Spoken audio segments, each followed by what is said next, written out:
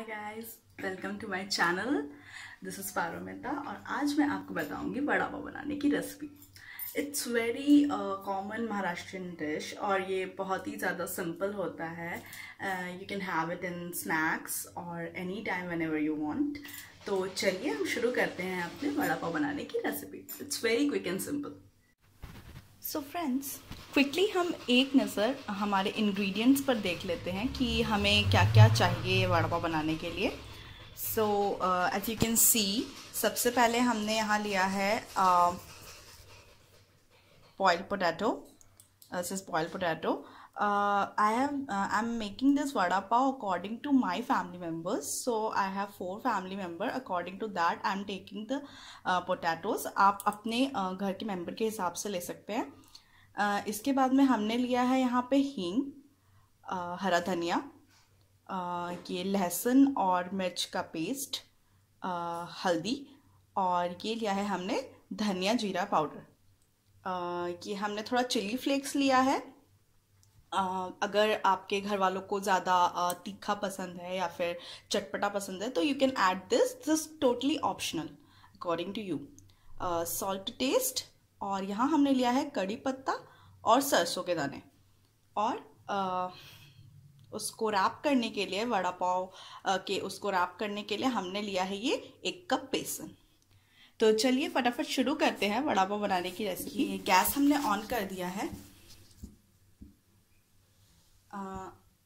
अब हम इसमें थोड़ा सा ऑयल ऐड करेंगे। आप जो भी ऑयल यूज़ करते हैं vegetable oil mustard oil whatever oil you are using you can use हम इसमें बस ज़रा सा ऑयल ऐड करेंगे।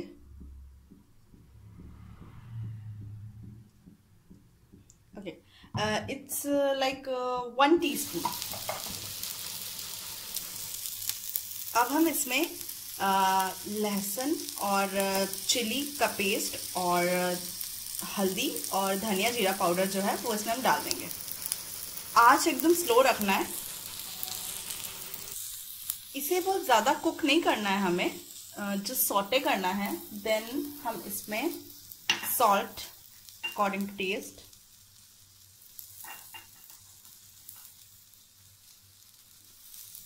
और थोड़ा सा chilli flakes which is totally optional and coriander leaves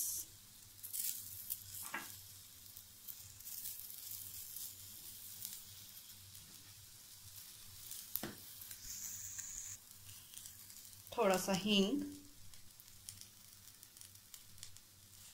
बहुत थोड़ा सा डाल के we can have to saute this for a while बहुत कम टाइम के लिए for hardly thirty forty second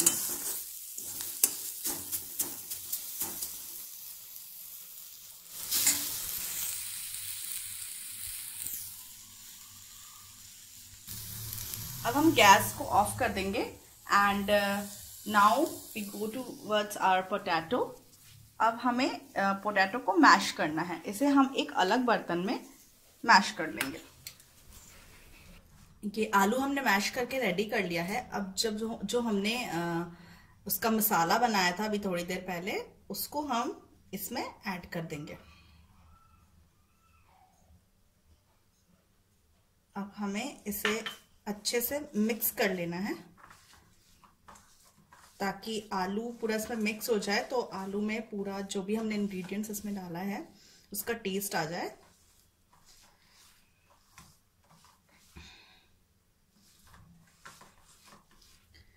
लहसुन डालने की वजह से इसका टेस्ट और भी ज़्यादा आता है और थोड़ा डिफरेंट भी आता है। तो जिनको गार्लिक पसंद है, उनको ये वाला वड़ा पाव काफ़ी टेस्टी लगेगा। But you can also exclude that if you don't want garlic in your vada pav.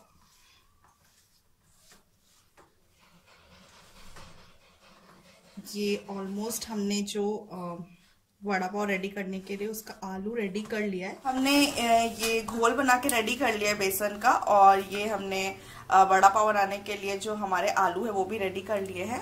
हमने यहाँ कढ़ाई में ऑयल डाल दिया है। अब हम इसे गरम करेंगे। ये हमने गैस चालू कर दिया।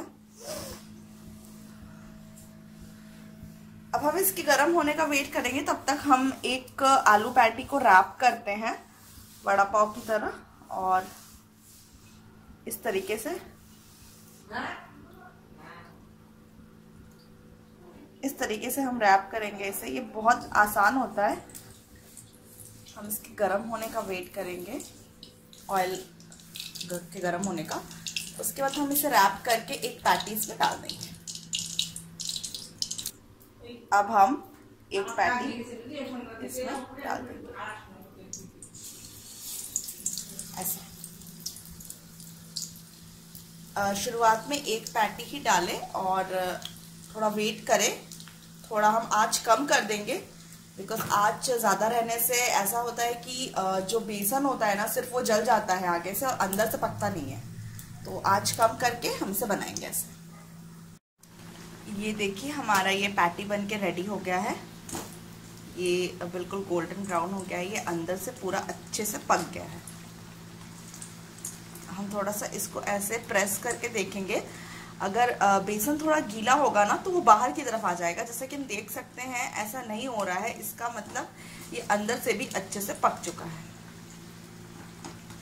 It's very simple to make आप इसी तरह हम अपने आ, सारे पैटीज बना लेंगे। तो देखिए हमने अपना दूसरा पैटी भी ऑयल में डाल दिया है और ये हमने अपना पहला पैटी निकाल लिया है। तो you can see it's very easy to make और अब बस इनको आप अपने बन में डालिए और घर पे लोगों को खिलाइए और खुद भी खाइए।